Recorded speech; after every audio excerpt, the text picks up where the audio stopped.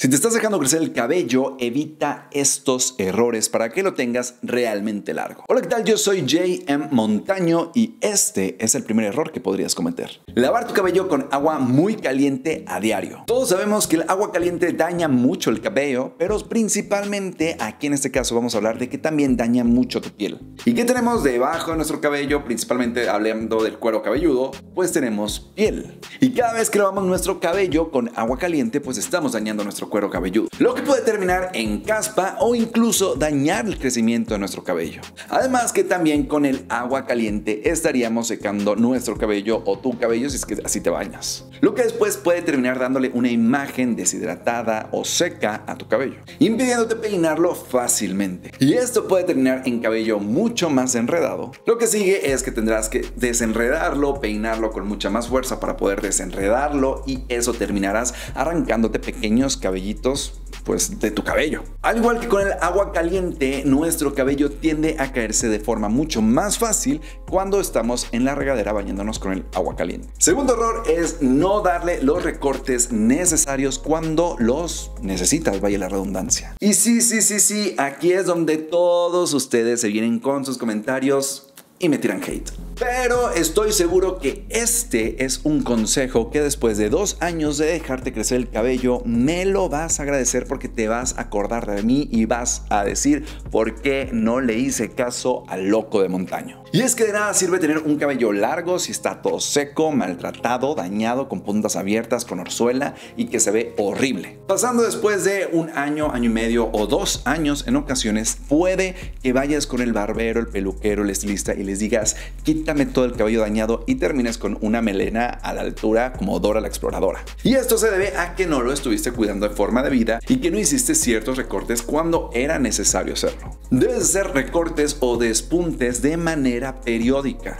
Y tú serás el que decidirá cada cuánto írtelo a cortar. Porque si cada tipo de cabello es completamente diferente uno al otro y dependiendo tu tipo de cabello, pues puedes estar viendo cuándo se necesita darle un recorte o un mantenimiento a tu cabello. Mi consejo en lo personal es darle un pequeño recorte o despunte dos a tres veces al año. Ya decidirás tú cada cuánto hacerlo, quizás una vez al año, quizás dos veces al año, quizás tres veces al año o quizás tu cabello lo necesita más de tres veces al año. Y sí, sí, sí, sí, te estás dejando crecer el cabello y no debes de cortarlo y toda esa historia que ya todos sabemos. Pero ¿no quieres un cabello largo y bonito? ¿O quieres verte igual que el vagabundo? El vagabundo nunca se ha ido a cortar el cabello y mira cómo le creció. Un pequeño despunte de vez en cuando no le hace mal a nadie. Y sí, sí, ya me puedes llamar don despuntes porque te recomiendo mucho los despuntes, pero te garantizo que me lo vas a agradecer dentro de unos años si es que lo haces y si no lo haces te vas a acordar de mí. Y si me hicieras un favor, te pediría que me fueras a seguir ahora a mi Instagram, que es ahí donde comparto más consejos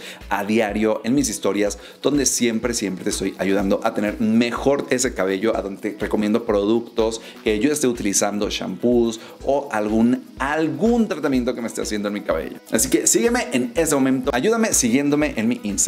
El Tercer error al dejarlo crecer es ir con un estilista o alguna persona que no sepa cortar el cabello largo para hombres. Créanme, este es uno de los errores más comunes que cometemos al momento de dejarnos crecer el cabello. Encontrar un estilista o un barbero que nos corte bien nuestro cabello y que entienda el concepto que tenemos es muy difícil.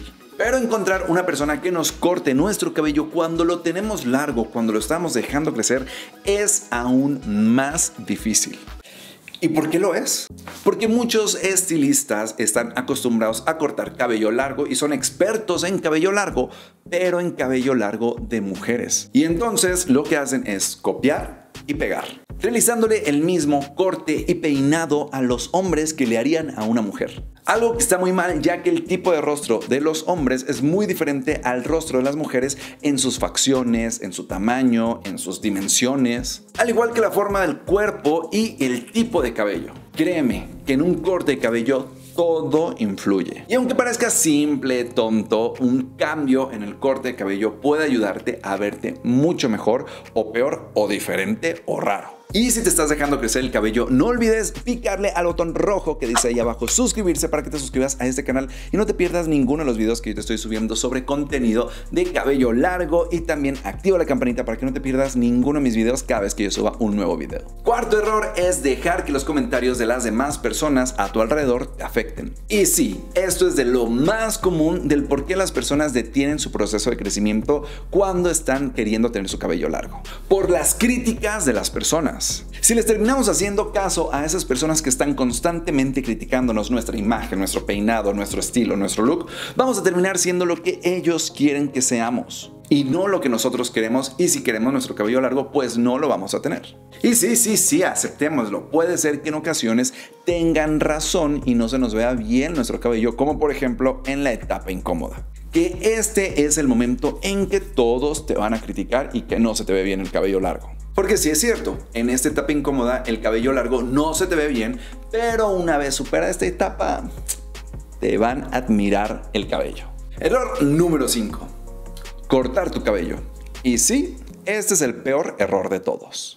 Porque te puedes sentir desesperado, que no tienes un estilo en el proceso de crecimiento de tu cabello y te arrepientes una y mil veces de dejarlo crecer. Créeme, a todos nos ha pasado que hemos querido cortarlo en ese instante. Incluso agarrar nosotros nuestra máquina, nuestras tijeras y cortar nuestro cabello porque no nos gusta como nos vemos. Pero espera unos meses más y créeme que va a valer toda la pena ese proceso y todo lo que estuviste viviendo en estas etapas incómodas, en estas críticas y no vas a querer cortarlo nunca más. Y pues bueno muchachón, eso es todo por el video del día de hoy. Espero te haya gustado y te haya servido estos errores para que no los cometas y si acaso estás dudando por ahí en alguno que otro, sepas que es normal que te critiquen, sepas que es normal querer cortar tu cabello en el proceso y que no debes de hacerlo si es que es algo que tú quieres hacerlo, porque después vas a tener que volver a empezar desde cero cuando ya habías superado ciertas etapas, entonces mejor aguantarse un poquito más y tener su cabello largo en unos cuantos meses. Y ese es un tutorial que me puedes ayudar siguiéndome a mí en Instagram y ahí es donde yo te estoy compartiendo más consejos y te ayudo a tener tu cabello largo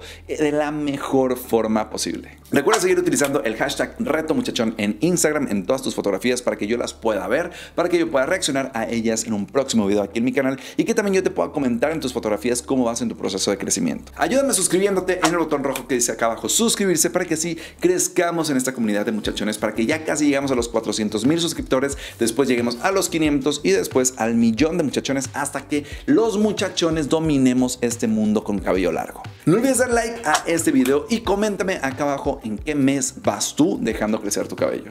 Recuerda que yo soy JM Montaño y nos vemos en el próximo video. Good luck.